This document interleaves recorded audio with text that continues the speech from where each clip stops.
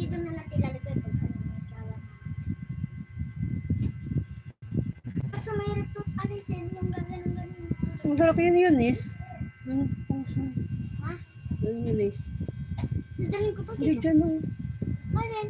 yun ang kayo sa Ano sala. pong lalagay namin?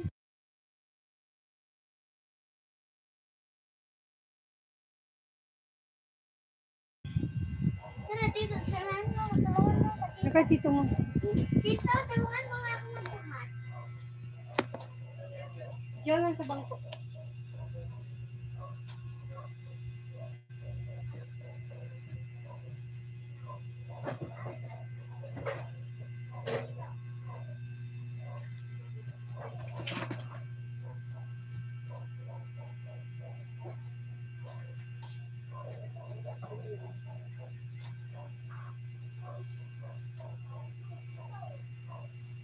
May kulang talaga na laruan.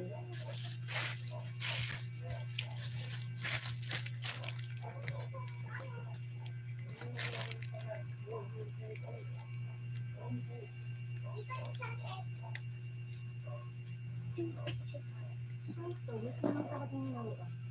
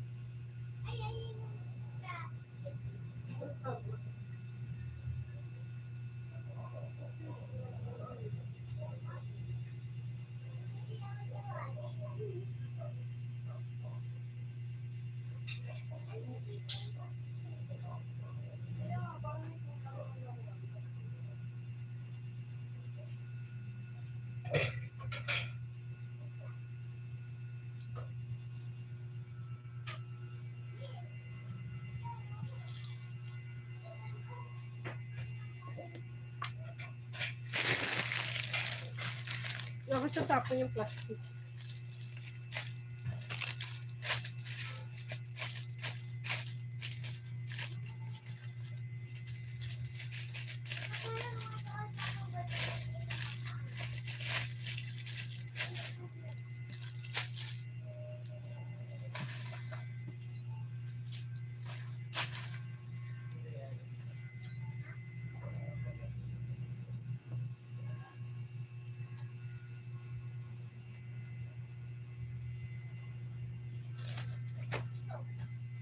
Ayaw mo dito, dito. Saan mo pagkakain tayo? Ilalagay ko na dyan.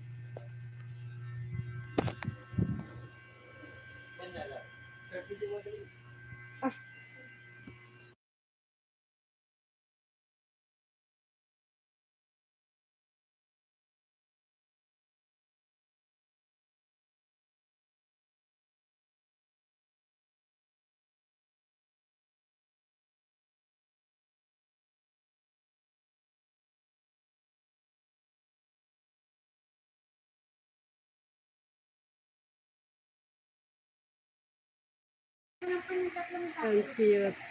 Kasi para purple.